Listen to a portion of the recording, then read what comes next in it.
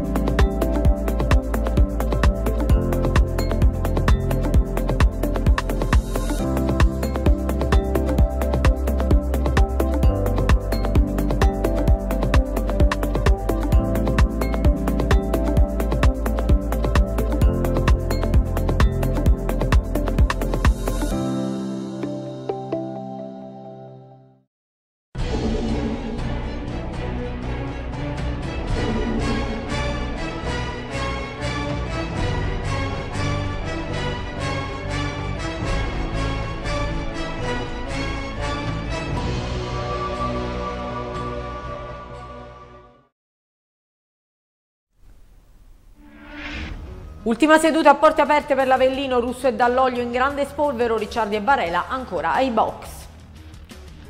Il presidente D'Agostino ha partecipato ieri alla presentazione del libro La legge del Partenio lanciando un appello ai tifosi in vista del derby, siate corretti. Le streghe hanno stretto un patto con la tifoseria che si rinnoverà anche lunedì sera al Partenio, domani il GOS e la prevendita per il settore ospiti. I due cestisti puntano la sfida contro i siciliani ad una voce ammettono andremo a Barcellona per il riscatto.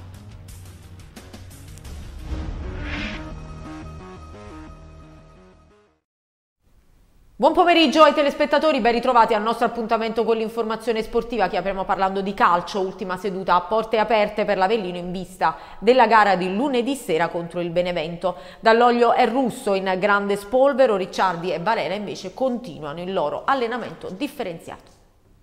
L'Avellino torna a sudare al Partenio Lombardi in vista del derby di lunedì sera alle 20.45 contro il Benevento agli ordini di mister Pazienza e del prof Laporta. Varela e Ricciardi continuano il loro programma di allenamento differenziato correndo ai bordi del campo, mentre la squadra dopo una prima parte dedicata all'atletica si è eh, tuffata in campo con una partita classica a ranghi misti, attacco contro oh, difesa. Abbiamo visto il grande spolvero Jacopo Dall'Oglio Foglio che dopo il gol al Picerno scalpita per, per una maglia titolare in mezzo al campo, abbiamo visto un Michele Pazienza molto aggressivo verbalmente con i giocatori, vuole il massimo, vuole caricare la squadra in vista della gara eh, delicata, quella contro il Benevento di Ateri, altra squadra in lotta per il secondo posto e al momento a pari punti al uh, cospetto uh, dell'Avellino. Ci sono anche dei tifosi al partito Lombardi pronti a caricare la squadra, a dare il loro uh, supporto e la squadra appunto ha fatto un cenno anche di sorrisi per i tifosi giunti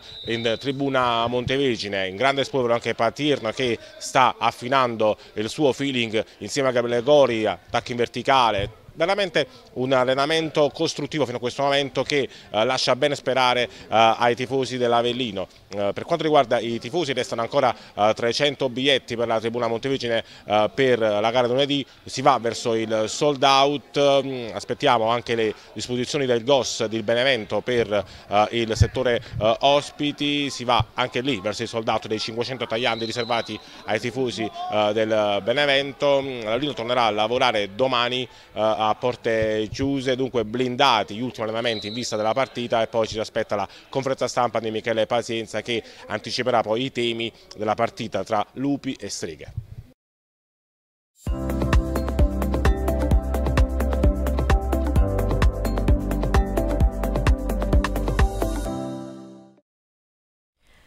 Ieri a margine dell'evento dedicato alla presentazione del libro La legge del Partenio ha parlato ai nostri microfoni anche il presidente Angelo Antonio D'Agostino che ha rivelato buone sensazioni per lunedì. Presto parlerò con i ragazzi. Con l'avvicinarsi dell'appuntamento elettorale è evidente che la presenza agli eventi pubblici del presidente D'Agostino aumenti di conseguenza, seppure con la sua consueta riservatezza nella giornata di ieri ha presenziato a due eventi, il primo al Teatro Gesualdo per la festa della polizia, il secondo nel pomeriggio ad Atripalda per ricordare la legge del Partenio, esattamente ciò che servirà per affrontare lunedì sera il Benevento.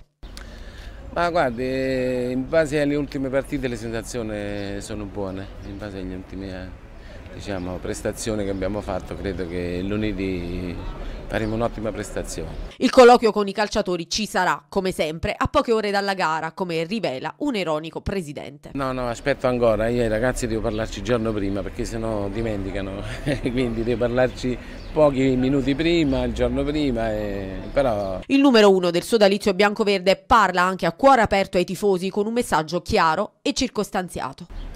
I tifosi mi sento di dire che intanto devono venire tutti quanti numerosi, ma credo che non ce n'è bisogno perché già è sold out, quindi su questo no. Ma soprattutto che abbiano un comportamento eh, civile perché dobbiamo dimostrare che siamo l'Avellino in tutti i sensi, siamo l'Avellino calcisticamente ma anche dal punto di vista del comportamento perché credo che lo sport è importante anche dare lezioni di serietà.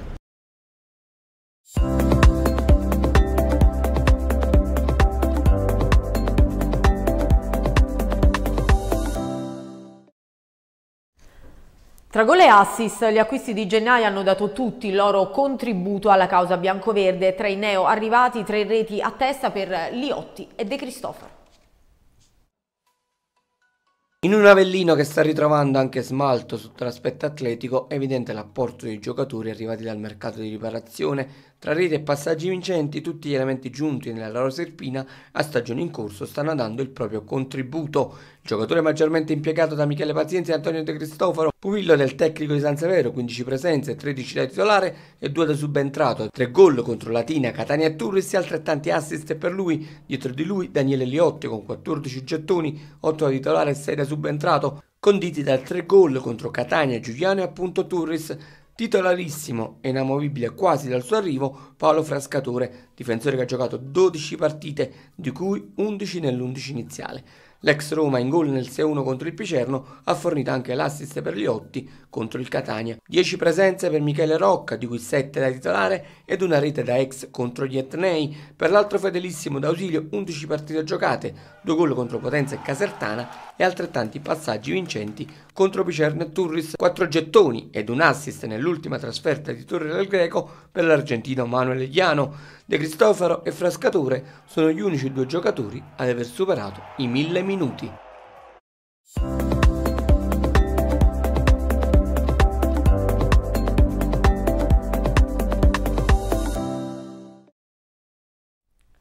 Sono emozionato, ricordo con affetto quegli anni, i tifosi all'epoca erano veramente vicini alla squadra, il derby contro Benevento, vinciamo noi, pazienza, è un bravo tecnico, queste le parole di Carlo Spina, ex dirigente dell'Avellino in Serie A.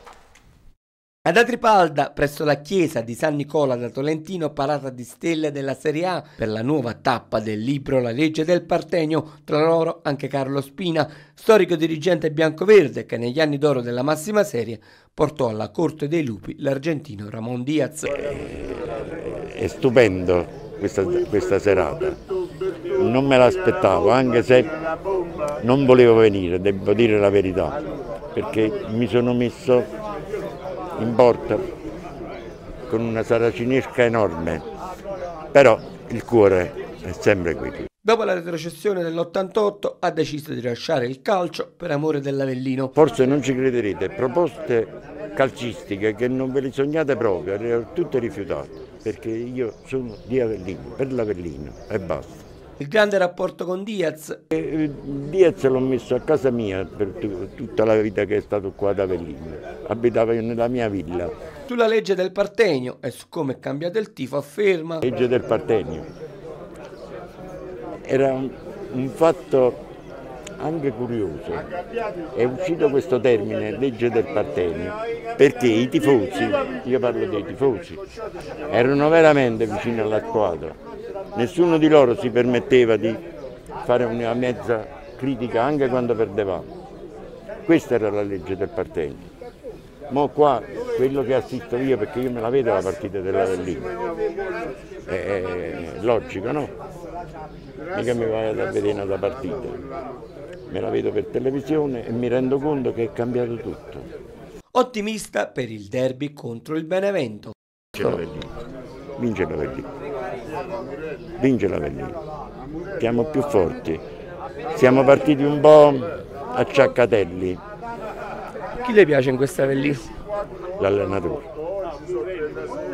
L'allenatore è, è uno che ne capisce.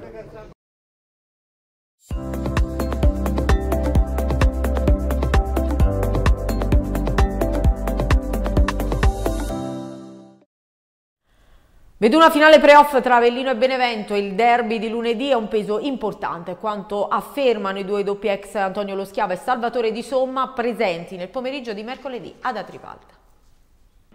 E contro la rovescia per il derby tra Avellino e Benevento. In palio c'è il secondo posto dopo la promozione della Juve Sabbia Matematica in Serie B.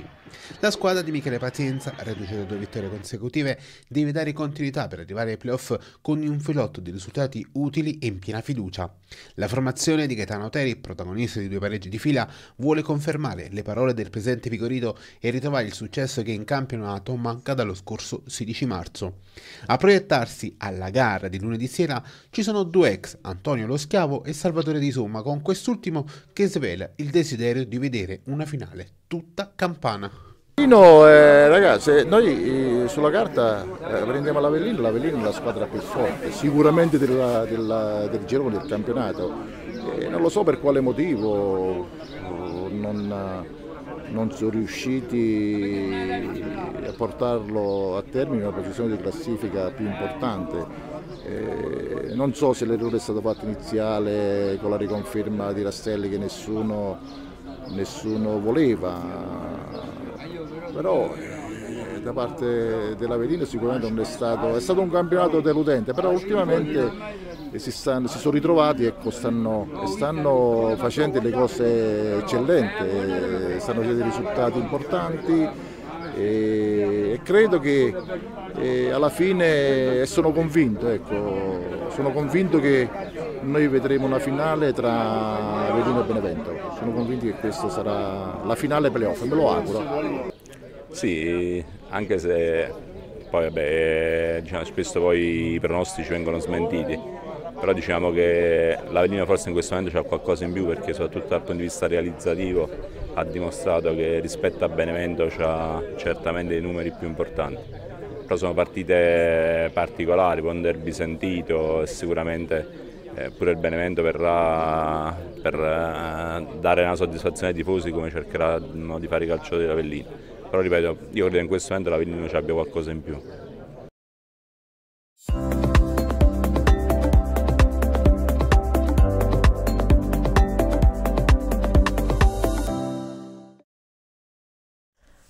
In vista del derby di lunedì il Benevento ritrova il suo dodicesimo uomo, patto con i tifosi, dubbi sulla destra per Gaetano Auteri dopo l'infortunio di Improta, avanzano le chance dall'inizio di Caric. Insieme è la parola più gettonata nelle ore che seguono il derby con la Juve Stabia e precedono un altro, quello di lunedì prossimo ad Avellino. Al fischio finale del match di lunedì i festeggiamenti stabesi per la promozione in B hanno fatto il paio con la manifestazione d'amore che i supporter giallorossi che hanno chiamato la squadra sotto lo sud una consuetudine ormai persa negli ultimi due anni. Non è importato lo 0-0 ma la prestazione sì, orgogliosa e battagliera in una colte di fumo giallorossa e sotto lo striscione che vinca o che perda. Giocatori e tifosi si sono guardati negli occhi e si sono stretti in un abbraccio virtuale con salti e battiti di mani a ritmo dei cori, il tutto immortalato dagli smartphone. Video e foto hanno fatto il giro del web, postati anche dai calciatori, da un derby all'altro. Il pensiero di Gaetano Terry riguarderà ancora una volta la corsia laterale. Se contro la Juve Stabia c'era da sostituire lo squalificato Simonetti, a sinistra Con la scelta poi ricaduta su Masciangelo per la trasferta di Avellino i dubbi riguardano invece la fascia destra. Nonostante l'assenza rosa di una vera e propria alternativa allo stesso Improta, Auteri avrà a disposizione diverse pedine. La pista più concreta porta all'utilizzo dell'ex di turno Karic.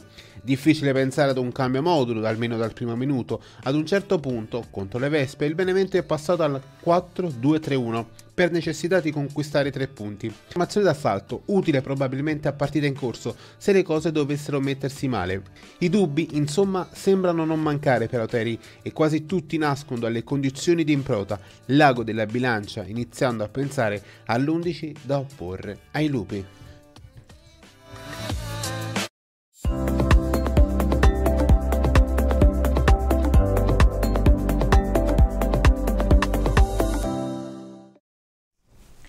Il Padova volta pagina in chiave playoff, via Torrente, torna Oddo, Mantova e Cesena in B, ora la lotteria della post-season è davvero aperta.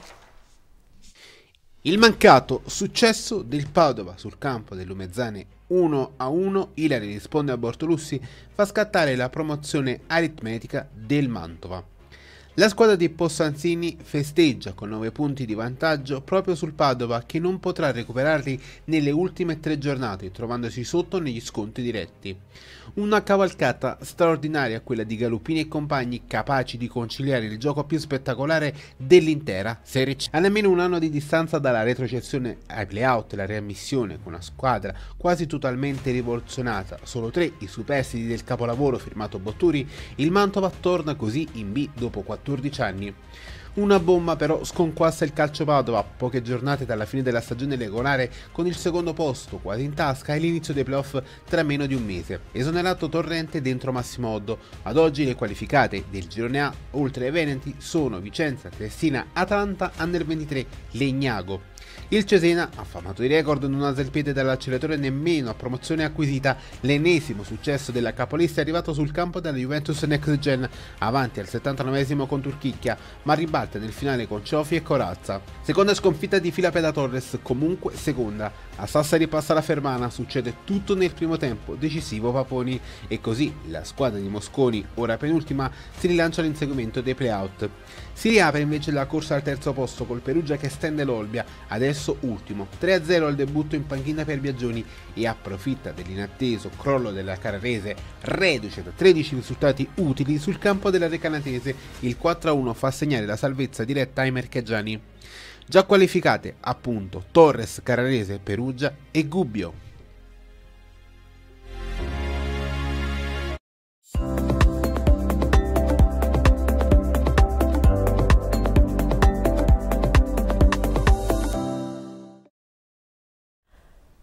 Il basket Barcellona deve essere per noi il momento del riscatto. Domenica vogliamo vincere contro Piazza Armerina e quanto affermano l'ala della Scandone Dalino Bazzarese e la guardia Matteo Tonello. Partita veramente dura. Uh, abbiamo avuto un grande dispendio di energie fisiche ma anche un grande dispendio di energie mentali. Il palazzetto è stato veramente caldo. I tifosi di Barcellona si sono fatti trovare pronti ma alla fine abbiamo avuto la meglio e questo, di questo ne sono veramente molto contento importante aver vinto questa partita che nonostante loro fosse una squadra giovanissima era veramente, veramente complicato andare, andare, lì e vincere ma siamo stati veramente bravi. Quella è sicuramente una partita che sarà difficilissima, oramai abbiamo due, due partite che sono, sono, fondamentali per il proseguo poi della stagione. Eh, Piazza Armina è una squadra forte, una squadra esperta, eh, giochiamo fuori casa, una trasferta lunga.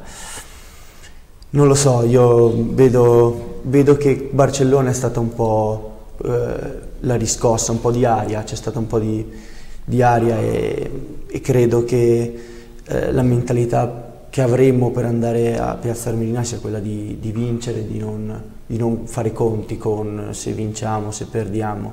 Bisogna andare lì, vincere, abbiamo tutte le carte in regola, l'abbiamo fatto in casa, eh, sappiamo quali sono i loro punti deboli, quali sono i punti forti. Sape sapremo sicuramente affrontare la partita in un modo insomma, deciso. Um, certamente abbiamo parlato con lo staff e abbiamo appunto come ha detto bene Matte um, cercato di capire quelli che sono i loro, i loro, punti di forza. Naturalmente con Barcellona è stata una bella vittoria però Um, non ci scordiamo che noi partiamo in questo gironcino da capolista, quindi insomma abbiamo tutte le carte in regola per poter vincere qualsiasi partita, quindi come dire non sorprende il fatto che noi andiamo magari in trasferta a vincere o in, uh, quando vinciamo in casa. Certamente sono partite dure, eh, Piazza Armiria è una squadra molto forte, eh, così come Messina, però se noi vogliamo andare avanti insomma dobbiamo passare per queste due partite, quindi ci faremo trovare pronti.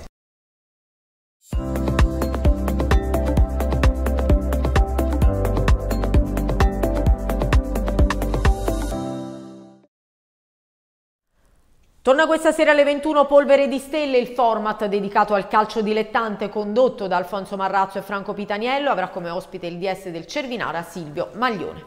Da venerdì a domenica il teatro Carlo Gesualdo sarà lo scenario della terza edizione del premio internazionale della danza. Pronti a salire sul palco del teatro avellinese tante stelle internazionali. Gwendalina Manzi e il direttore artistico Fabrizio Esposito ci illustrano ai nostri microfoni il programma della Kermesse. Si prospetta veramente un weekend di fuoco, siamo alla terza edizione come già hai detto tu correttamente, eh, siamo qui col maestro eh, Fabrizio Esposito che è il direttore artistico, io sono l'ideatrice del premio e ho coinvolto ovviamente un professionista come lui, non potevo fare diversamente. Sarà una tre giorni di sold out? Sì, sarà una tre giorni di sold out, abbiamo tantissimi ragazzi che parteciperanno ai concorsi sia per solisti che per gruppi, eh, ci sarà una matinée per le scuole il venerdì mattina e anche lì è sold out perché fortunatamente anche le scuole ci hanno dato eh, il loro sostegno. E poi eh, il pomeriggio procediamo con i concorsi, la mattina della domenica ancora concorsi e poi la sera c'è la grande serata del gala. Fabrizio, direttore artistico eh, del Gala L'Etoile, le stelle pronte a scendere sul palco del Gesualdo. Sì, è un'occasione unica per, per, Avellino, anzi noi invitiamo la, insomma, la, cittadinanza tutta a partecipare. Ci sono ancora dei biglietti in vendita su Viva Ticket, domenica 14 aprile alle ore 21. È piena di stelle, piena di stelle, Avellino diventa il centro italiano della danza per tre giorni. Abbiamo anche dei premi internazionali da dare che sono stati scelti, arrivano da Madrid, da Parigi, da Berlino, da Belgrado, quindi uno sforzo veramente enorme. Puoi svelarci qualche stella? Ma certo, non abbiamo segreti. Uh, allora, intanto noi premiamo la fondazione Pina Bausch della compagnia Wuppertal, che per noi è un onore enorme, non, non si affacciano mai sui palcoscenici italiani e viene il direttore della compagnia, abbiamo come ospite una loro icona della danza che è Julia Shaman che ballerà un assolo di Pina Bausch. Poi c'è una mostra dedicata a Pina Bausch di Francesco Carbone, che era il fotografo della compagnia per tanti anni, che risiede ad Avellino, una mostra molto importante, fotografica. Poi abbiamo Lucia Lacarra, premio alla carriera, Roger Salas da Madrid, che è il critico più importante della danza in Europa. Insomma, abbiamo molti, molti, molte, molte idee espresse ormai parlato anche con Nurev, con Bolle, abbiamo visto un po' la carriera di Fabrizio Esposito, ma la danza secondo lei eh, adesso è una disciplina eh, aperta di più agli uomini? Assolutamente sì, eh, diciamo che alcune trasmissioni televisive nel bene e nel male hanno comunque introdotto l'idea che eh, maschio è bello in danza, quindi io per carità all'epoca mia ce n'erano di meno, adesso ce ne sono di più, ma comunque uh, è aperta ormai e mm, non ho mai visto maschi più virili dei danzatori. Guidalina Manzi, viva la danza! Viva la danza, però ci tenevo a fare un ringraziamento, ringraziamo il comune di Avellino perché grazie a loro per la terza edizione ci hanno dato fiducia, credono in questo progetto e siamo ancora sul campo.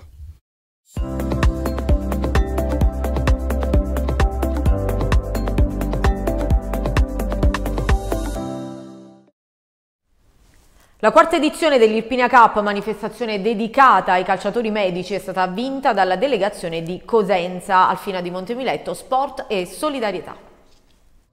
La quarta edizione dell'Irpinia Cup, manifestazione riservata ai medici calciatori, è andata alla delegazione calabrese della città di Cosenza, che, battendo Napoli Slerni Avellino, si aggiudica l'ambito trofeo, che si è disputato per la seconda volta presso lo stadio Fina di Montemiletto. Mattatori della squadra del presidente Antonio Caputo e allenata da Enrico Costabile, storico medico sociale del Cosenza Calcio, gli attaccanti Pescetelli, autore di sette reti, e fabbricatore, che ne ha messe a segno ben sei.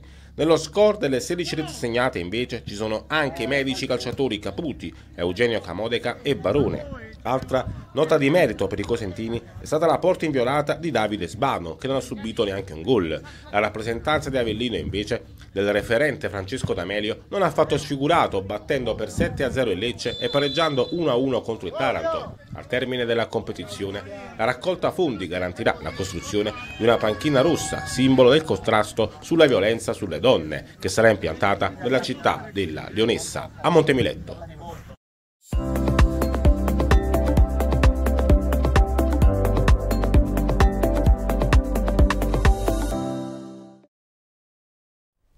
Continuate a seguirci sui nostri canali social, Facebook, Twitter, YouTube, Instagram e il nostro sito internet saranno sempre aggiornati a vostra disposizione. Non ci sono altre notizie, la nostra informazione torna questa sera, io vi auguro una buona giornata.